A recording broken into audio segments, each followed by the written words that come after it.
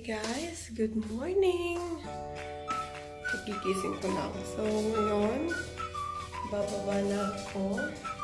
Kasi nga maglalakad ako ng aso. Hmm, sarap pa sana matulog pero kailangan ko lang ilakad yung aso ko. Kaya, so, ngayon, mag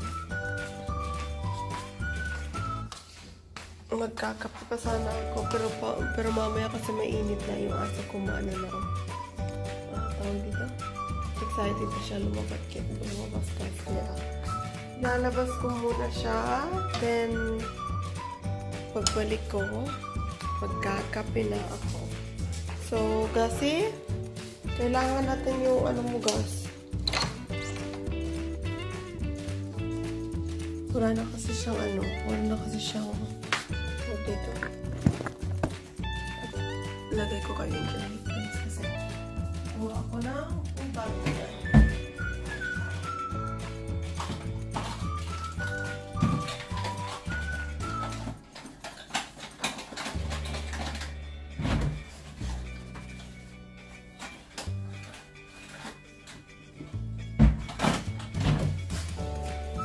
Last na kasi yung umpag niya kahapon kalat yung 20 pesos.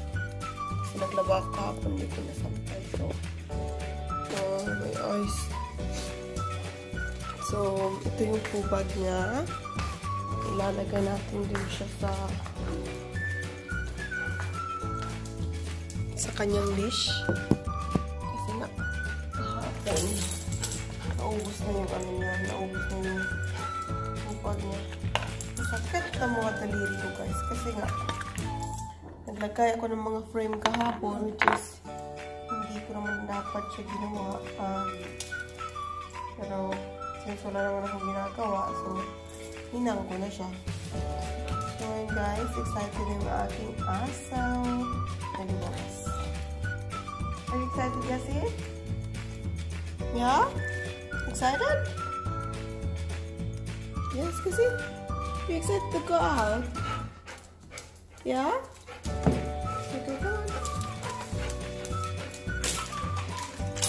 Excited na excited to go sa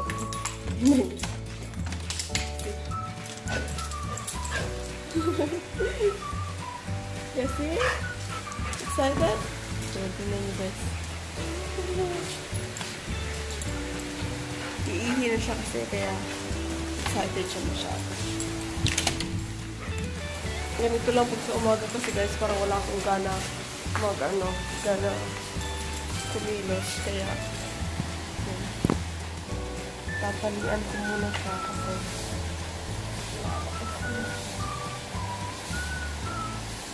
So, maya na ulit guys.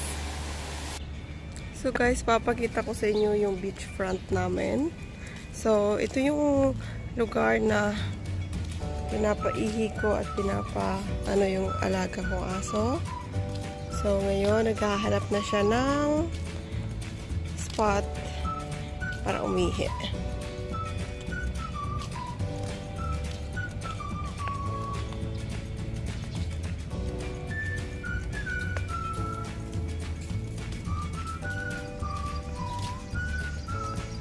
So, super nice yung place, guys, kasi nasa beach side siya. Then, ayan na siya. Iihi na yan. so, yun. Ganun lang. Iihi lang siya. Tapos, so, so much green. Sarap maligo dito, guys, pag sa umaga. But, so now, I'm staying up every night so late hindi ko na siya nagagawang gumising ng umaga or mag-gym. So, kaya yun. Lalakad ko lang siya for a few minutes. Tapos, uwi ko na rin.